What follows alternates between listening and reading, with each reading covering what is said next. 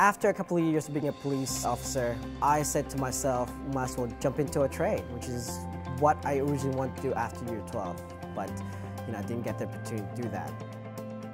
I was just over what I was doing and I, I really just want a career and I think electrical is really exciting.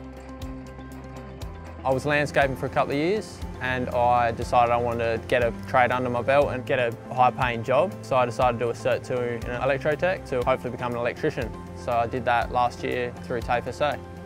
What excites me about Electrotech is there's good opportunities. Being single mum of two, I want to be able to provide for them just like a, a, loving family could, you know. Having that massive break from not learning and coming in here be, being a student again, I really have to uh, learn how to learn.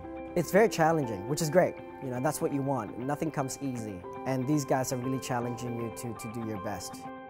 Before I did the Cert 2, I wasn't even 100% sure about becoming a Sparky, but um, doing the Cert 2 through TAFE really just like showed me what I could be doing. And now I just feel like I'm in the right place, doing the right job that I could be doing the rest of my life. If someone was deciding if they wanted to do a Cert 2 or a Cert 3, I would definitely recommend it because the Cert 2 will give you a leg up, getting a job, also just give you that background knowledge when you do want to go to Cert 3. And I think it's a good job, it's good pay, I've got to admit that too. So probably one of the best jobs you can do and there's just so many avenues it opens. I highly recommend TAFE SA.